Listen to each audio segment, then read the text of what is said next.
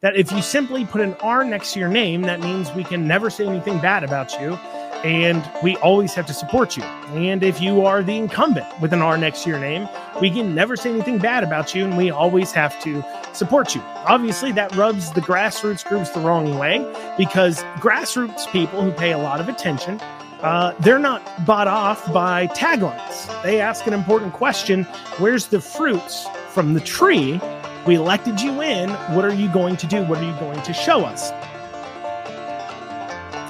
And welcome everybody to the Andrew Cooperrider Show. Of course, I'm your host, Andrew Cooperrider, and I'm coming at you today with three news stories that you may have missed. First, uh, last oh about two weeks ago, now well, a week and a half ago or so, we had Representative Proctor on to talk about con laws, uh, an issue that affects Northern Kentucky a fair amount, but also affects the rest of the state. Well, there's been some developments since then, and obviously some of the hospitals are hopping mad uh, that Proctor and other representatives have gone after these con laws so harshly. We'll talk about that. Uh, Beshear versus Cameron polls. We've had two polls come out since the last time we talked about polls, one in June and one in July. We'll talk about what those polls have said, what it means for the Cameron and Beshear campaign, and I'll give you some of my takeaways from that. Finally, a Muslim woman in Lexington is claiming her religious rights were violated uh, because she was asked to remove her hijab during booking. I'll bring you that story and my take on it. I think some of you might be surprised with how I feel about this story, but we'll have uh, that and so much more here today on the Andrew Cooperrider Show. So, starting off, the Northern Kentucky situation regarding uh, certificate of need or con laws continues. So, for those of you who are unaware, con laws is a requirement here in Kentucky that every hospital, before they build locations, add beds, buy new equipment, add services, so on and so forth, have to seek permission to do so from the state. And the way that state confirms that permission is by asking the providers in the area whether or not that is a needed service. They can do some other studies to kind of dig into it, but that's their number one indicator. And if the providers in that area say, nope, we can provide that service just fine, there is not great demand for that, then they will not offer it. Well, this strange government enforced monopoly has created a lot of interesting situations all over the state. None more obvious than in northern Kentucky, an area that is significantly large and populous, yet only has one hospital system in the Kentucky area. Instead, they're losing 20 to 30 percent, uh, according to Representative Proctor, who got that information from actually St. East, the hospital that's having that stranglehold monopoly on Northern Kentucky. They admit they're losing 20 30 percent of healthcare customers across the river to Ohio because they lack the choices and options to get affordable and high quality healthcare. So that has led many to call out for the repeal or at least uh, reform of certificate of need or con laws because it's obviously causing a much higher healthcare cost. You don't need to have your PhD, like friend of the show, Dr. John Garen has in economics, in order to understand that when government says you can't have choices, that affects the pricing. And it obviously causes higher healthcare premiums as a whole. Well, of course, uh, St. East Hospital can't handle this.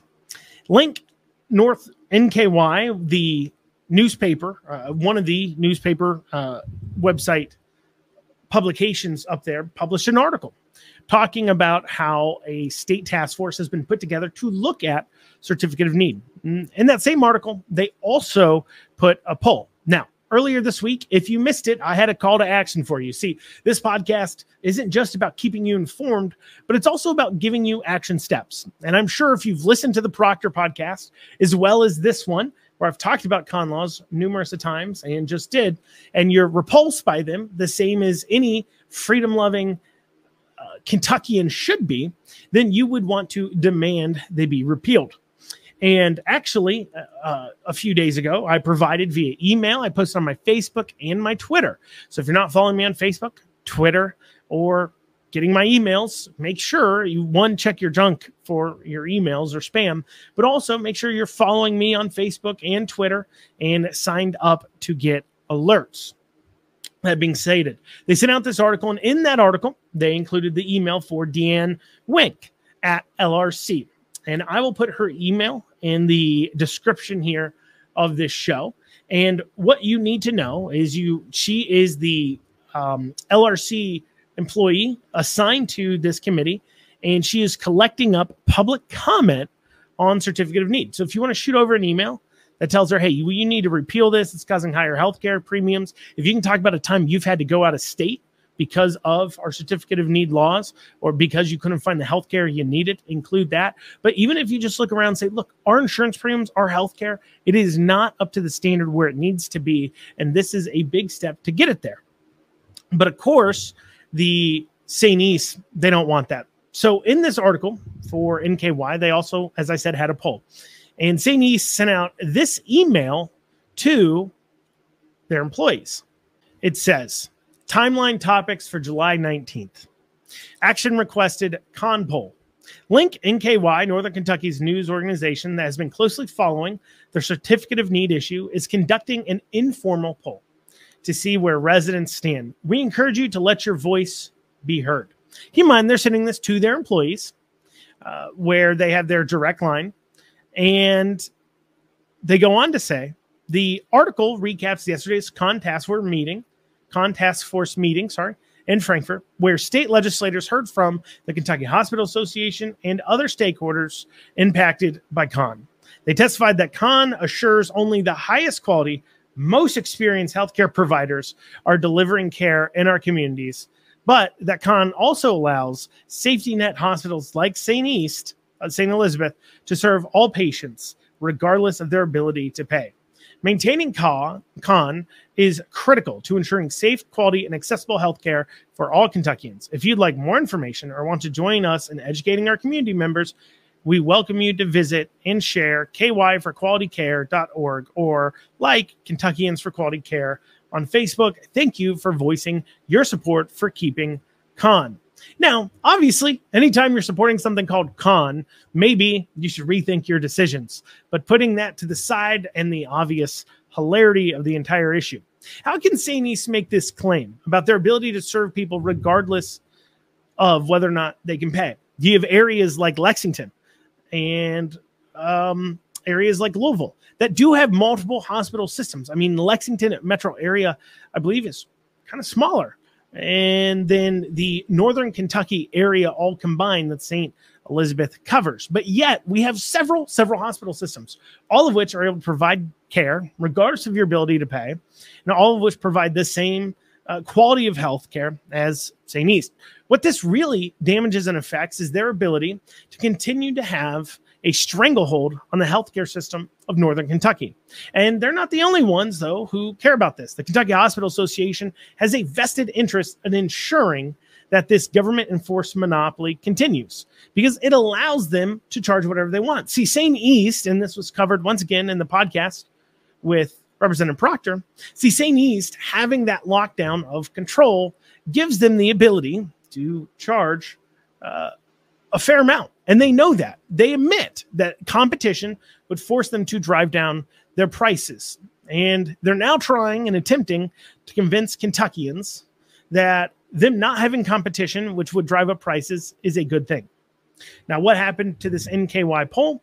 Well, when the citizens were weighing in, not the people whose pockets are lined by these laws, we would see time and time again that they were greatly ahead, the pro reforming con laws or repealing it. But the people for repealing it were greatly ahead. But after this email went out, within a few hours, the uh, St. East staff, the people who make their profits, off of this, the higher up doctors, I'm sure, because obviously the uh, employees at the lower level, either A, they've been brainwashed and believing that this is a good thing for them, um, or B, they haven't researched it or don't think about how simply markets work. Because obviously, if you are a nurse or a CNA or some sort of other frontline worker at the hospitals, you would certainly be in favor of repealing con laws. Why? Well, because without there being competition in the area, there's no competition for employees. That drives down your wages. One of the most interesting things that have happened with this inflationary period that Joe Biden has led us through is that we've seen gigantic increases in pay. Nowadays, even in most rural parts of Kentucky, nobody pays minimum wage or next to nobody does. It's really hard to find employees. They're paying more like 12 to $15 an hour. And we see that all over the country. That is having the same effect. Competition for workers drives up wages. So obviously, having more choices of where to work would drive up your wages naturally. But that would once again hurt the pocketbook. See, that is the investment of the pack of lies that St. East administrators and the higher ups that make their money off of this stranglehold have a vested interest in. And once again, it's not just hospitals like St. East, it's hospitals all over this state that line their pockets because you have a lack of choices and their employees don't have choices of where to be employed. Coming up after this, the Beshear versus Cameron polling. We've seen some more polls there. We're going to talk about that here in just a bit. All right, Beshear versus Cameron. Polls have come out in June and another poll in July. And while it it it speaks to something, it, it definitely doesn't um it shouldn't necessarily deflate your hopes of Cameron being elected at all, but it certainly isn't necessarily what you'd like to see if you're the Cameron camp at this point. Now, granted, Cameron has just now really started hitting running ads. Well, not I don't believe Cameron himself has ran too many ads, but uh, the the greater PACs and um, interested individuals in getting Cameron elected have started running some ads to hit Beshear. But mainly, what I've seen personally, and maybe your experience is different, I've seen a whole lot of pro Beshear ads and attacking Daniel Cameron ads. And I haven't seen a whole lot out of the Cameron campaign. Maybe you've noticed something different. But even as I'm driving around, I see more yard signs and other things for the Beshear campaign. Now, this is not necessarily alarming. Um, Cameron, when he ran his campaign before wasn't super big on handing out yard signs. And I believe, and I could be mistaken, and somebody from the Cameron campaign can reach out and I would correct this, but I've been told that the Cameron campaign is also charging for yard signs. Um, including even with the local GOPs, uh, they have to buy the yard signs from the Cameron campaign. Now, that isn't necessarily a, a, a big issue per se. The local GOPs are supposed to be supporting their candidates through monetary donations. Purchasing signs from the campaign is an easy way to do that, while at the same time ensuring that if you're going to give out a sign, it's going to somebody who will put it in their yard in a good location. Uh, having been involved in many campaigns, I can tell you signs don't win them. And I can also tell you signs signs can help. It makes people see that you have support out there, obviously. Um, but signs aren't the end all be all. There's a saying in politics: signs don't vote. And so if you don't see him putting a lot of push on signs, that's good part of the reason why. But in these polls, we had one in July um, that polled 46% Republicans, 44% uh, Democrats, and 10% independents, which is the general makeup of Kentucky. And it found that Beshear had 52% of the vote, and Cameron 42%, and 6% were unsure. Then in July, another poll came out that had um, Beshear at 49% of the vote, 45% of the vote for Cameron, and then 5% undecided. So, obviously, uh, you'd like to see Cameron beating him in the polls. Cameron himself has released polls that show him within 2% hitting distance. Though, what I can tell you is he's got plenty of time to chop away at him. But I think Cameron has to start thinking about with these polls in mind. As I said, if you don't think it's going to be a squeaker, you don't have to worry about this. But if you do think it's going to be a close one, I think Cameron needs to worry about shoring up his base. And I'm telling you this as somebody who obviously belongs to the parts of Facebook and Twitter sphere, as well as communicate with individuals that fall into different categories. See, when you look at the Republican voter, you have generally what I look at as three or four categories. You have the party people, and, and there's crossover in these categories as well. You're the party people, You have the grassroots activists. They can be involved with their local GOPs. Uh, sometimes that's the outlet. Sometimes they have their own groups uh, that they've formulated. Things like the Tea Party, uh, things like uh, Make Americans Free Again. Uh, those types of groups that come together and meet. I know Warren County has the Warren County Conservatives. Um, and so those groups that fund kind of that grassroots level push, really the party the, the people who donate a lot of money to candidates are part of the party apparatus. The individuals that actually go out there and knock on doors and do the volunteer work, they're more part of the activist apparatus, which falls into different groups. And a lot of times those come to a head. Uh, a lot of times in certain counties, especially, you see that the grassroots groups do not get along with their GOP groups at all. And a lot of this has to do with this idea that you see out of the GOPs, which is a greater argument maybe for a later day, but there is a belief at a lot of GOP parties, and obviously this helps keep control that if you simply put an R next to your name, that means we can never say anything bad about you and we always have to support you. And if you are the incumbent with an R next to your name, we can never say anything bad about you and we always have to support you. Obviously, that rubs the grassroots groups the wrong way because grassroots people who pay a lot of attention uh, they're not bought off by taglines. They ask an important question Where's the fruits from the tree? We elected you in. What are you going to do? What are you going to show us? And I bring this up because the Cameron campaign has to worry about that group, that activist group, that group that provides the door knockers, that group that provides those kinds of push.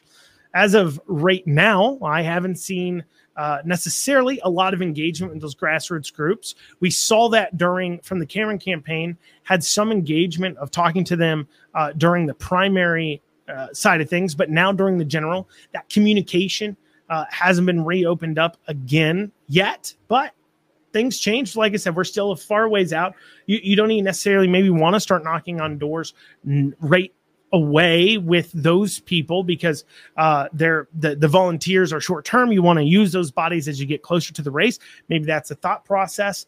Uh, I know Beshear has people out knocking now, but of course, I think most of them are paid knockers. I'm sure Cameron uh, is putting together his knocking group if he doesn't already have knockers to go out and knock doors. But these grassroots apparatus people are are you've got to worry about bringing them in, and it's really obvious that that is of some concern that there's groups of Republicans out there who are either unsure about Cameron, uh, are not going to vote, or maybe they say, "Well, Beshear's the the animal we know," um, or they are.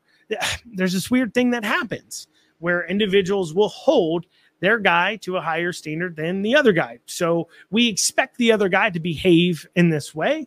Um, we don't expect our guy to behave in that way. So if our guy behaves in the same way even the other guy does, we say, well, not we, I don't say it, but they say, well, I'm just going to vote for the other guy because I'm going to hold them to a different standard. We see that often too as well on the right side. This is just the bottom line. You can lament about it, you can be upset about it, you can yell at me about it, but that is just the facts on the ground when it comes to the electorate that makes up the Republican base. They're very split. And Cameron has to be thinking about how can he attract back in that base? And while, as I said, bringing Robby Mills in is great to help out your Western Kentucky area. And he's definitely on the ideological, maybe Christian conservative side, uh, certainly brings people in. But on the Liberty side of things, uh, the Liberty Republicans, so you got Christian conservative Republicans, you got Liberty Republicans, and then you kind of have your establishment Republicans. And then they all kind of have interlaps as far as things like Trump Republicans, populist Republicans, things like that. But to your to your Christian conservative Republicans, that certainly helps tie them down. Though I don't think Bashir or Beshear, I don't think Cameron was necessarily too worried about the uh, Christian right, or he shouldn't have been, because obviously with Beshear shutting down churches and how he's regularly been on these transgender issues, that certainly can become a problem. I think where Cameron needs to be worried about as far as shoring up his base goes. He's got, and this is a hard form. He's got the Liberty Republican group. He's got to shore up, and then he also has the more moderate Republicans that say, well, you know, Beshear hasn't done all that bad in their opinion, and the devil you know is better than the devil you don't. This is even more obvious when you look at your down ticket polling. When you look at things like the in the same polls, uh, ag commissioner or attorney general, you're seeing gigantic double digit leads for the Republicans, like huge leads for the Republicans in those polls. Why? Because one, they don't necessarily view that as much of an important thing. And they're saying, look, R is better than a D. I don't know anything about any of them. So I'm just going to vote for the R because that's better than a D. That is simply what they're thinking when they're looking at that. When it comes to governor, people pay quote unquote more attention. The media pays more attention. I said quote unquote because are they actually paying attention? Are they doing their own research? No. I don't believe they are. I believe they're being fed whatever lines that the media or the campaigns give them, and they run with it and then believe wrongly that they're informed instead of objectively looking at the issues. So, what Cameron has to worry about is how do I pick up my moderates while also shoring the Liberty group? And actually, he could deal with this in the same way, but he made, I think, a very critical mistake. And that was bringing on Mitch McConnell's chief of staff as a key figure on his campaign. Um, bringing him on, I think, was a big mistake. I think that any any association with the McConnell camp uh, in this way by Cameron, he can think it's not a big deal. But I think if he ends up losing, and I hope he doesn't, but if he ends up losing, the greatest mistake he made was after the primary, even having the appearance that he is somehow associated with Mitch McConnell simply for this. Liberty Republicans, a lot of other Republicans hate Mitch McConnell. Mitch McConnell is the least liked by polling data senator by his own state in the entire nation. And that's saying something. Trust me, that's saying something. He's the least liked. That means that even in the Republican Party, people don't like him. Liberty Republicans, especially, don't like him. Why? Because he is the definition of a person who says one thing and does another. Mitch McConnell is somebody who says things like, we're going to protect the Second Amendment and then passes uh, some of the greatest Second Amendment gun control. He is the definition of a Republican that outside of spending money doesn't want to do anything else. He doesn't want to share in government. He always says we need to be the adults in the room, which translates to I want to do nothing other than forward whatever it is that's important to my donors. And what's important to his donors is that you, the taxpayer, continue to foot the bills for all the ridiculous crud that the government has decided to fund. And people are fed up with it. Republicans are fed up with the way he pushed things like the vaccines. They're fed up with the way he pushed uh, the gun control issues through. They're fed up with his inability to fight. They're fed up with a lot of things. And I think the greatest mistake Cameron campaign will have made was at all allowing himself to be greater associated with them. Because not only does that upset the Liberty people, but there are moderates as well that look at Mitch McConnell and don't like him. Once again, he polls badly. I get it. Maybe Cameron had to do it in order to bring in the money. Maybe it was a lack of talent. Cameron didn't know who else to bring in to fulfill those roles that he needs. Because as I said, when I brought up Terry Carmack coming on board, the McConnell chief of staff, well, it's hard to find a person who can fulfill all the things you need. There is a desert of talent in Kentucky for political, on the conservative side, for political operatives. That being stated, I really hope he looked everywhere else because I think um, the continued uh, attachment and disregarding of both the moderates and the Liberty Republicans that don't like the business as usual, the this kind of oh we're going to say one thing and do another. What we're looking for is indications that you're going to say one thing and do it. I think that's something cameron campaign needs to really think about exhibiting in order to make sure he shures in his base because if this race is close as the polls are right now saying it will be very close this truly is a squeaker well you're going to need every vote you can get cameron and i really hope you consider that as you think of how to weave that very precarious position. And I understand it's hard. It's hard to have a balancing act between the two. It's hard to appeal to everybody and not upset anybody. But it's definitely something that you have to master. Otherwise, we're going to see four more years of this year. Coming up after this, um, woman in Lexington got pulled over, arrested and uh, says she had her religious rights violated. We'll be covering that right after this. A Muslim woman in Lexington uh, says that her religious rights were violated by the Lexington detention, uh, the detention facility here in Lexington. So this uh, Muslim woman gets pulled over and then arrested for, um, as, as I understand from the article, reportedly she was pulled over by the UK police and she had an unpaid fine, traffic fine of some sort. Uh, it was past the uh, deadline to pay, or she didn't show up to court. So there was a bench warrant issued for her clearly. Um, but it was a minor traffic infraction.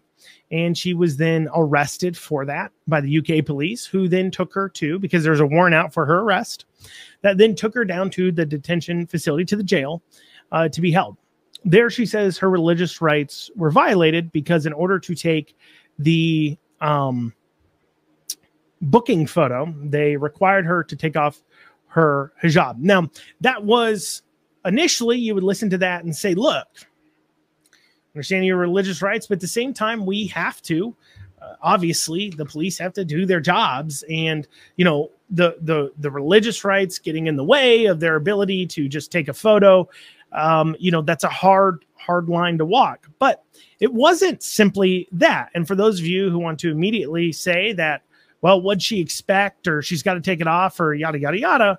Um, she actually did offer to remove it, but she requested that it be removed, um, that only women be in the room and involved in the photography process as she did it for whatever reason, they weren't able to respect that, whether it was due to staffing reasons or what have you. And instead, they forced her to remove it in front of the male officers and booking officers as well, as she was then uh, booked in to and then allowed to put it back on as she was booked in to the jail. Now, as I said, it may surprise some of you, but I actually support the woman in this case and say her religious rights were uh, put upon. It wasn't didn't appear, at least from the article. I could be proven wrong, but it didn't appear she's trying to be difficult.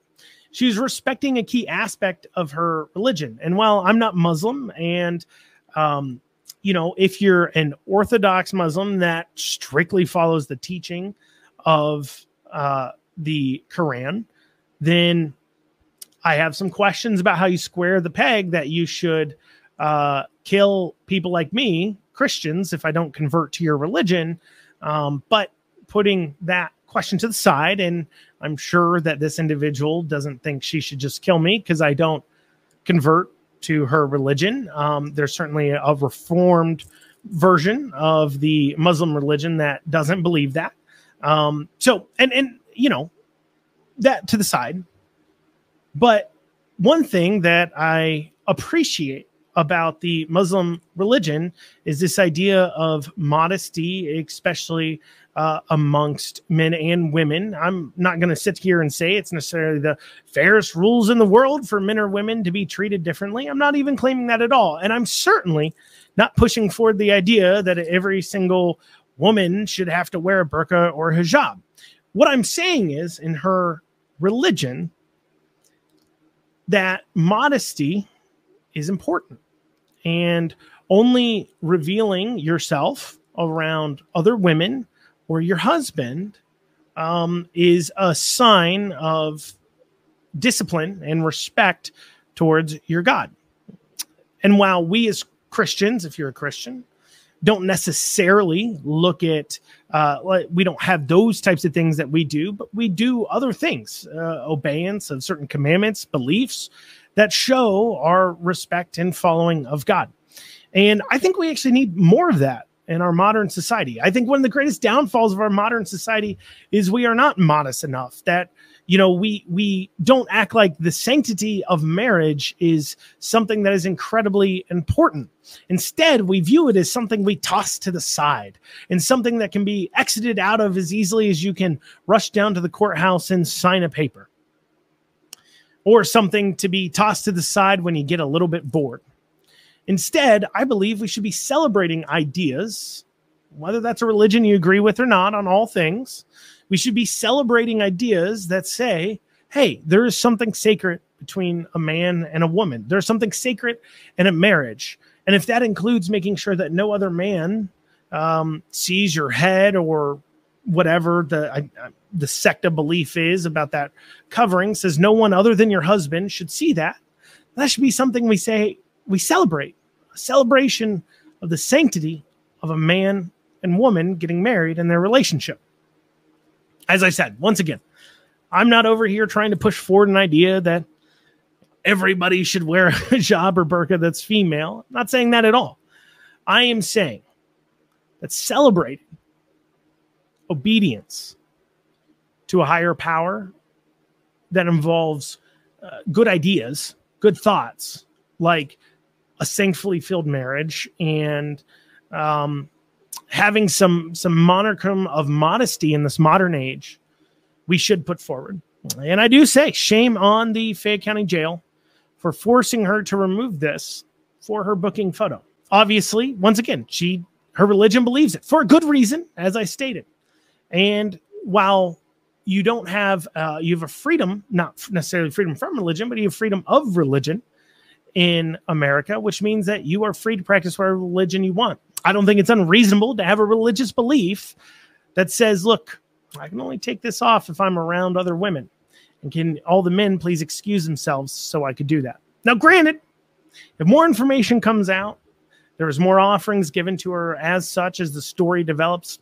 I'll be more than willing to change my opinion on this as I get more information. But based on what I see, shame on you, Lexington Jail. Shame on you. Get it better next time. That's what we have time for here today on the Andrew Cooperrider Show. Uh, feel free to, you can always reach out to the show, by the way. If, like, for an example, my last story, uh, you have an opinion on you want to voice it, and you don't just want to say it in the comment section or wherever you're at, please email me at info at theandrewshow.com. That's info at theandrewshow.com. You can also message me on Facebook and, and all other places too as well. And once again, please like, comment, share, subscribe, leave a review if you're listening on podcast. Thank you all so much for joining us. Have a wonderful rest of your.